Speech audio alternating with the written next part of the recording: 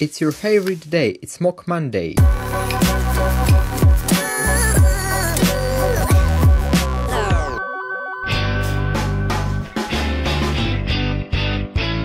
The set was provided by LES DIY for review.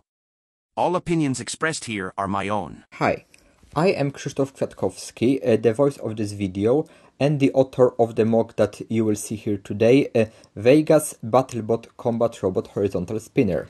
As mentioned in the disclaimer, uh, the reviewer got the set provided by Les DIY. This company collects all the parts of the MOC for you, so that you don't have to order uh, them from multiple shops. You will uh, get a mix of Zhegao and Go bricks, while the motors are provided by Mould King.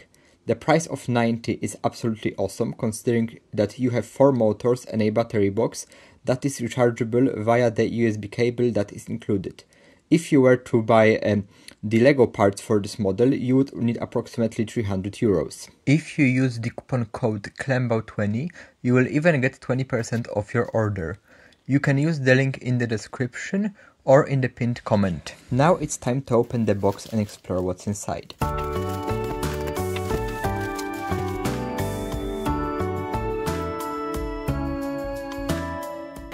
As you can see, there is no space left in the box, it's full of bricks. You get the parts sorted by type, uh, just as you would get when ordering from Bricklink and you don't have any building sections. This MOC contains 563 pieces, including 4 motors to uh, control uh, that absolute monster. It does not contain printed instructions, uh, but you get a QR code to download the instructions in PDF. In my set, I could really see that the parts are coming from two brands, as I had two Technic beams that are looking different. The part quality in general is okay, however you need much more pressure when you uh, assemble. This could be frustrating from time to time, however your fully assembled MOC is then very stable, probably even more than with LEGO parts themselves. This MOC is, was designed using LEGO parts and with the provided parts some steps are really difficult. I already spoke to the manufacturer and provided my building feedback and they're improving the parts uh, to have a better tolerance. Alright, let's start building. Unfortunately, I can only show you some parts of the building process. If you would like to have a closer look at the instructions, you can buy them separately on Rebrickable. You start building the chassis and then quickly the L motors are added. Another frame secures those motors. For some axles I had a really hard time pushing them in. I used this H-beam to create enough force. With LEGO parts this should not be a problem.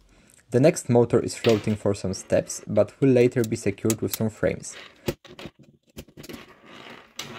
I can highly recommend adding the motor for the spinner later. With the provided feedbacks, the instructions will be constantly improved. If you have bought the instructions, you will have access to all future developments of this bot as well. This robot used to have a sticker which you can purchase separately. However, Les DIY doesn't provide this, this sticker. Instead, you get panels in green which looks very similar to the sticker background. Attaching the upper design of the spinner works quite well.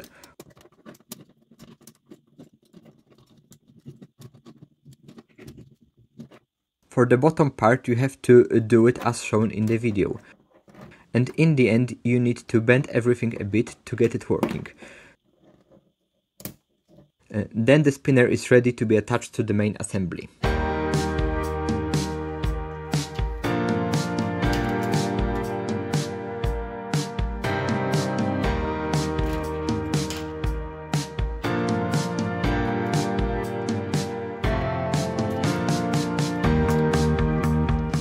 Alright, we are done. The set from Les DIY comes with a physical remote, but in my opinion this robot is really hard to operate with that. You could also use an app by Mould King, but still it is difficult to operate a robot that way. The third option is to use a gamepad like a PS4 controller or an Xbox One controller uh, with the Brick Controller 2 app. You can find a detailed video how to set this up uh, in the Technicalities by KK YouTube channel, I have linked that video for you. And now let's get ready to rumble.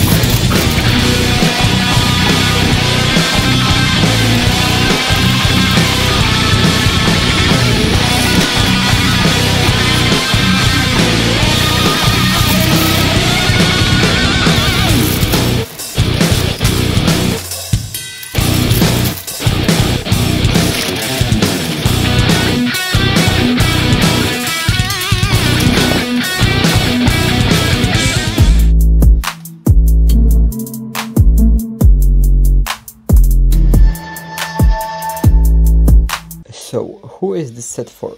If you would like to start uh, robot fighting, this is a very good starting point. You get a, a very decent battle bot which has won some fights. What I do not like is the quality of the bricks. At uh, some places LEGO would have offered a better quality. Also, some steps in the instruction did not show quite well where the part should be attached, but this is going to be improved. What I really like about this set is that you get a battery box that is rechargeable via USB cable. Thank you for watching and if you liked me being the guest voice of this video, give it a thumb up. Don't forget to subscribe to the Klemmbau channel and check out my own YouTube channel Technicalities by KK, which is linked in the description.